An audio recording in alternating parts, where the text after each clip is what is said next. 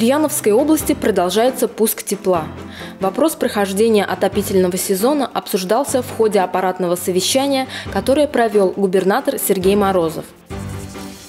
Фактически мы начинаем отопительный сезон не только в социальных объектах, о которых я сказал в самом начале, но и э, начинаем отопительный сезон и в целом по э, жилому сектору.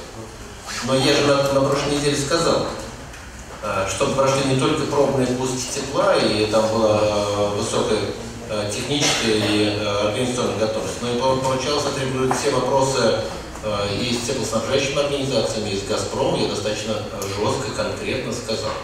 Мы говорим о том, что объекты социальной инфраструктуры должны были получить пробный пуск газа на прошедшей неделе, а с, этого, с этой недели, так сказать, уже тем более выйти на постоянный пуск газа. А них даже разрешение этого газа кто, какие районы, значит, для того, чтобы мы зафиксировали это все. Кто, э, кого мы, потому что мы сейчас э, вот и Сергей Александрович, и я, так сказать, мы там на Совете Безопасности, я, прежде всего, конечно, сразу проинформируем соответствующие э, надзорные органы, ну, прокуратуру, которые должны будут, так сказать, внести э, либо предостережение, либо, либо предупреждение, либо, так сказать, там, э, предписание э, в отношении руководителей муниципальных образований или хозяйствующих субъектов, которые не, не, не, не желают э, подавать газ. А так, если сейчас мы просто пройдем, э, никто и так, прошу прощения, даже не вспотеет. 37 организаций. Э, в первую очередь это те организации администрации поселения, администрации муниципальных образований, где нет круглосуточного пребывания людей, это административные здания. Вот 37 а, объектов еще в «Газпром» даже не обращались за получением разрешения на пуск газа. По 55 учреждениям получено... Владимирович, знаете, да, что 37 э, объектов социальной сферы э, тепло э, не получают? Думаю, что вряд ли. Вот это дайте информацию, чтобы они проверили. А то сейчас я там, я уже проходил за эти, так сказать, многие годы работы э, губернатором о том, что говорят о том, что там нет никого, а на самом деле приедешь э, в тот населенный пункт, такое там начинаешь слушать, что волосы просто дымом э, встают. Значит, по 55 учреждениям получен отказ повторного пуска газа в связи с наличием задолженности за потребленный природный газ. Значит, в разделе муниципальных образований 11 а, учреждений не получили разрешение на пуск газа по Майнскому району это 9 школ, один детский сад, одно учреждение дошкольного образования.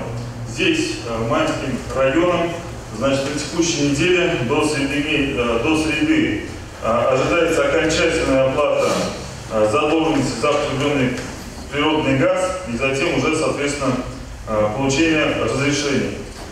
Два учреждения Э, в Меликетском районе, но здесь это административные здания, где у нас не присутствуют э, дети, э, либо больные люди. По Новоспасскому району два здания, это здание сельского дома культуры и также административное здание. По Павловскому району не получено разрешение на пусгаз по 12 школам, 4 детским садам, 3 административных здания, дом культуры и библиотека. По Радическому району одна школа, по Сингелеевскому района э, ФОК и три административных здания, э, Сурский район, районный дом культуры, Теренгульский район, один детский сад, три школы, один лицей, э, дом культуры и два административных здания. Уважаемые коллеги, по большому счету остался сегодняшний и завтрашний день для того, чтобы получить такие разрешения. Сергей Иванович, на прошлой неделе... Что, что, что вы лучше нас сначала урегулировать э, взаимоотношения. Правильно я понимаю? Совершенно верно. Ну, кто-то был на прошедшей неделе?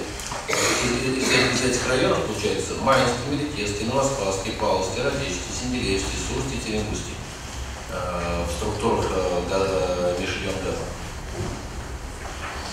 Значит, на минувшей неделе все районы отрабатывали как непосредственно с «Газпромом» напрямую, что называется, в рабочем формате, так и было проведено рабочее заседание под председательством э, председателя правительства Александра Александровича Смекальна, где э, рассматривались вопросы по как раз таки пуску газа и рассматривался основной вопрос оформления графиков по погашению задолженности и непосредственно сами проплаты. И что это заседание дало? Только сейчас спрашивали у Павлова. Что в сухом остатке? Так и сейчас, еще раз. Рассмотрели заседание.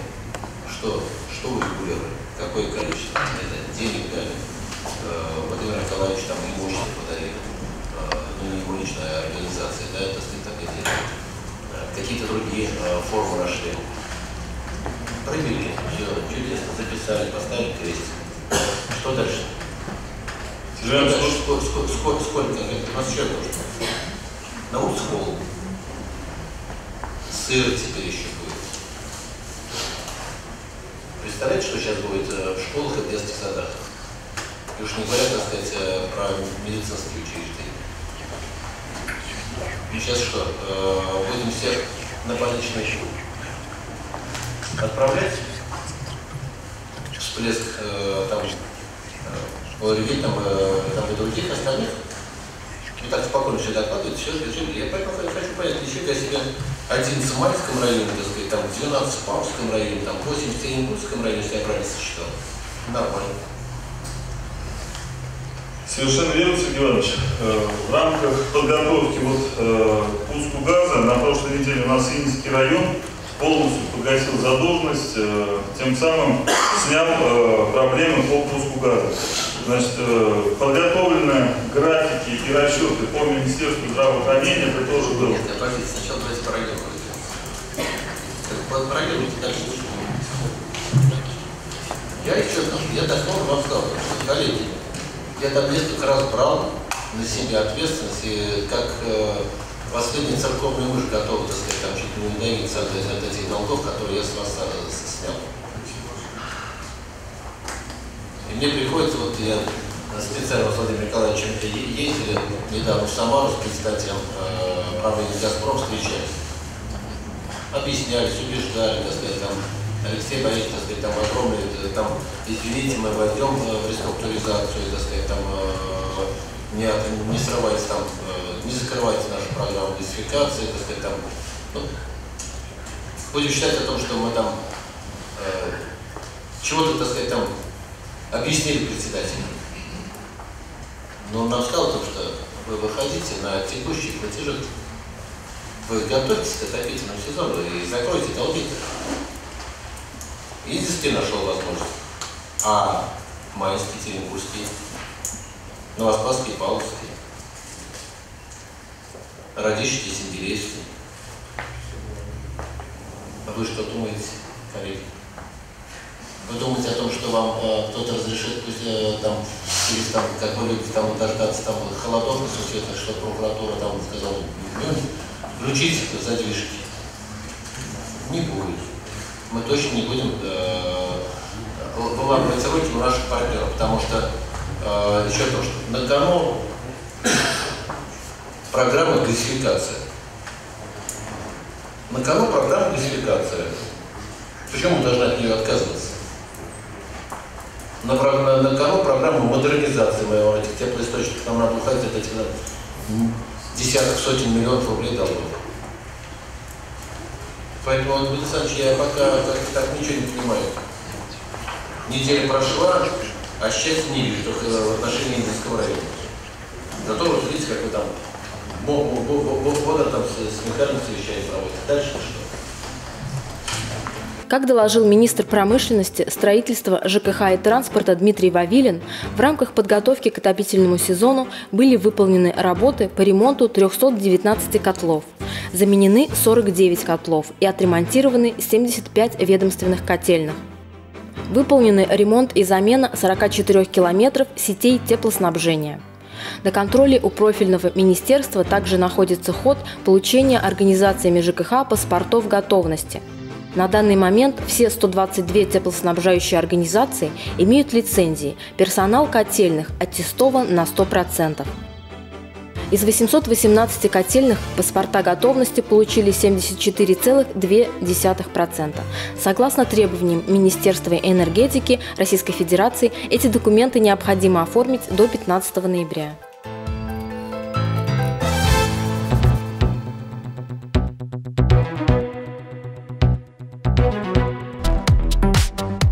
Ульяновская область занимает лидирующие позиции в ПФО по темпам уборочной кампании – о ходе сельскохозяйственных работ на территории региона губернатору Сергею Морозову доложил министр агропромышленного комплекса и развития сельских территорий Михаил Семенкин.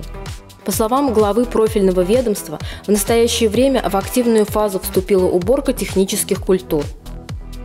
Что касается подведения итогов, предварительных по уборочной кампании, хотел бы сказать, что независимо от того, что у нас достаточно сложный год выдался в этом с вами году, в 2018 у нас в области достаточно холодная была весна, затяжное лето холодное, в конечном итоге переросло засушливое, жаркое лето, тем не менее, а, благодаря общей слаженной работе и сельхозтоваропроизводителей, и сельхозуправления, конечно, безусловно, и глав муниципальных образований, мы с вами собрали достаточно неплохой урожай. В целом по области на сегодняшний день убрано уже 580 тысяч гектар. Общий намолот валовый составляет 1 миллион 240 тысяч тонн зерна, зерновых и зернобобовых культур а, со средней урожайностью 21,4 центнера в гектар. Ульяновская область лидирует по всем показателям, независимо от тех сложных погодных условий, которые сложились в этом году. Итак, по темпам уборки мы по-прежнему лидеры, э, независимо ни от чего. По урожайности, конечно, здесь есть нам чему стремиться, есть на что равняться. Соответственно, Татарстан пока на день лидирует, он является первым, первое место занимает, но тем не менее, Ульяновская область, она входит в топ, скажем так, 5 по Крюшку федеральному а в среднем хочу сказать, что сейчас активно набираются технические культуры. Э, на сегодняшний день уборка идет э, подсолнечника. Также а уже приступили к уборке сахарной свеклы. Подсолнечник у нас убран с площади 4,5 тысячи э, гектар. Валовый сбор у нас составил пока на сегодняшний день 8500. Э, сахарная свекла на сегодняшний день убрана с площади 1448 гектар, это 12,2%. Валовый сбор составляет 34 700 при средней урожайности 340 центнеров гектар. Тут у нас три муниципальных образования, которые занимаются производством выращивания сахарной свеклы. Ульянский, Цивильский, Чердофинский район, все три муниципальных образования приступили к уборке сахарной свеклы достаточно неплохими темпами. Также у нас э, уборка проходит соя. Э, в среднем убрано 4100 гектар, 65,9%, 65,9%. Валовый сбор составил 4700. Первый рамс на сегодняшний день уже завершаем, убрано 91%. А, при средней, при средней воловке 8752 тонны. Гречиха на сегодняшний день тоже подходит к завершению 86,8%, а средняя урожайность у нас валовая составила 3700 тонн.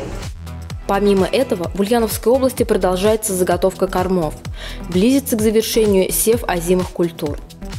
Напомним, в областном бюджете на 2018 год на реализацию государственной программы развития сельского хозяйства и регулирования рынков сельскохозяйственной продукции, сырья и продовольствия в Ульяновской области предусмотрены средства в общей сумме 947,5 миллиона рублей или в 2,3 раза больше уровня 2017 года.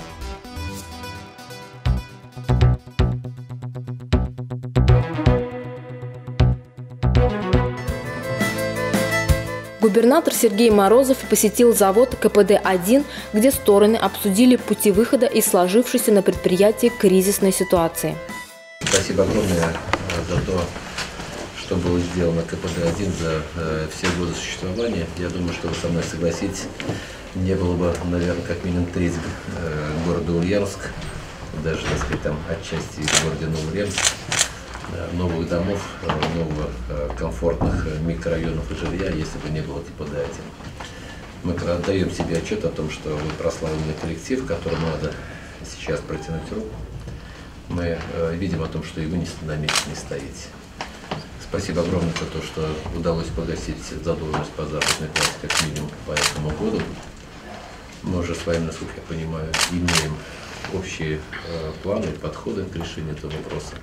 Поэтому давайте пообсуждаем, что мы можем еще вместе сделать для того, чтобы завод начал как можно быстрее работать. Для возобновления работы завода КПД-1 необходимо порядка 20 миллионов рублей.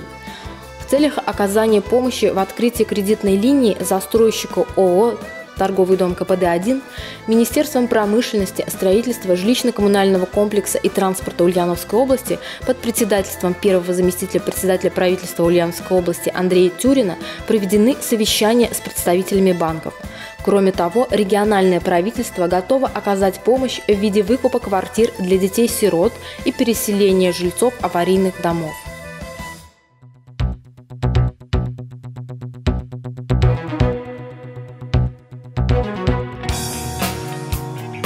Всероссийские мероприятия, посвященные столетию со дня основания Советского Союза, примет на своих площадках Ленинский мемориал. Ход ремонтных работ здания Мемцентра осмотрел губернатор Сергей Морозов.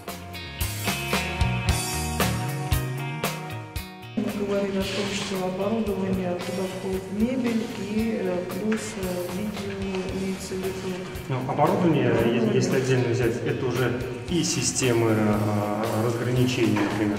Это э, э, зона, зона перекрытия, так называемое автоматическое стекло, которое делит это помещение на конференц-центр и, э, например, зона кофе-брейка. Технически, конечно, должно быть, но и визуально в любом случае мы никого не имеем права, так сказать, там шокировать какой-нибудь своей такой неухоженностью. Поэтому давайте мы все это посмотрим, поэтому я предлагаю, вот, э, ну, скажем так, край через месяц собраться уже в широком э, со- составе, не только строители, но и те, кто отвечает за содержательную часть. Губернатор осмотрел ремонтируемые внутренние помещения и крышу.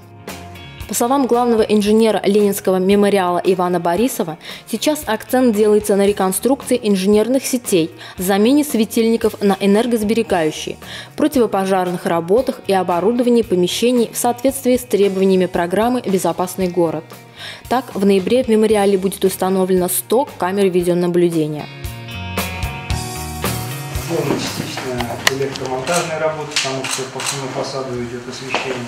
Также ливне- ливневая система, то есть водостоки полностью должны быть каждый тысячи дней. Также примыкание и выходы вентиляционных шахт.